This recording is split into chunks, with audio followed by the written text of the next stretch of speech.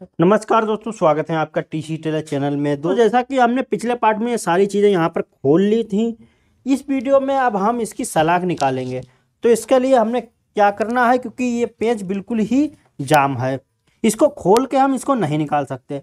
तो ऐसे में हमको करना क्या है, अब देखिए, जाम है और इसको हमने ठोंका भी था, जैसा कि ज़्यादा ठोकेंगे तो सारे पुर्जे हिल जाएँगे और कुछ टूट भी सकते हैं।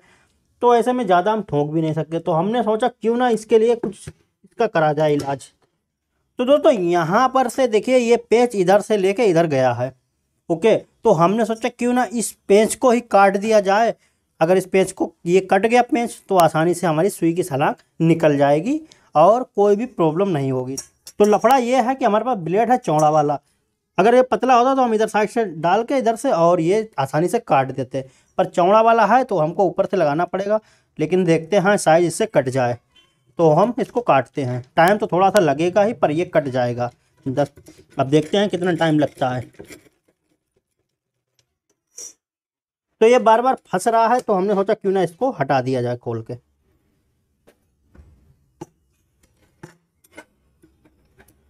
अब ठीक है। अब हम काटते हैं।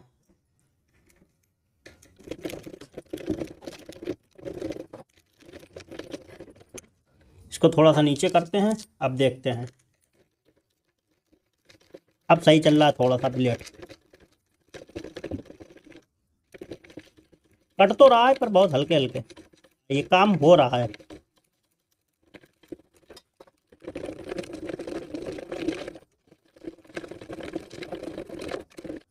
तो देखिए, इधर साइड में ये कट रहा है। थोड़ा सा रह गया, इसको भी उड़ा देते हैं।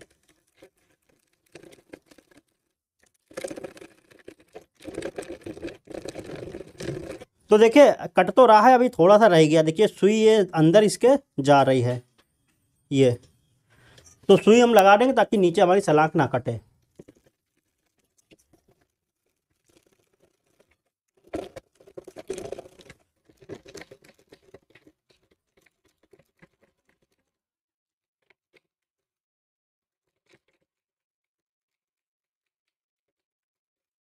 तो दोस्तों, फाइनली हमारा ये कट गया पेंच।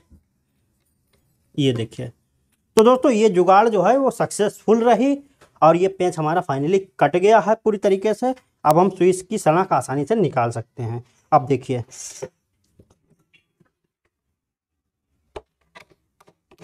ये देखिए, खसक रही है ऊपर नीचे। मगर हमको कोई ऐसी चीज़ मिले जिसको इसके अंदर से डाल के हम इसको ठोंक के बाहर निकाल सकें। तो दोस्तों, अब हम इसको लगा, निकालते हैं सुई की सलाख को। तो ये यहाँ पर है। तो हम इसको ठोकेंगे ऊपर से।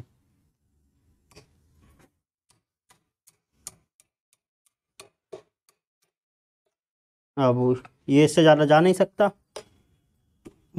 ये देखिए, नीचे हो रही है।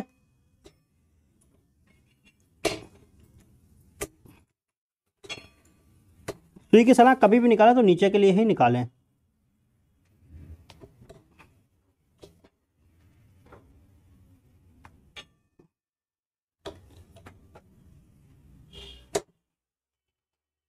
ओके तो हमारा ये काम हो रहा है और ये आसानी से देखिए निकल आई।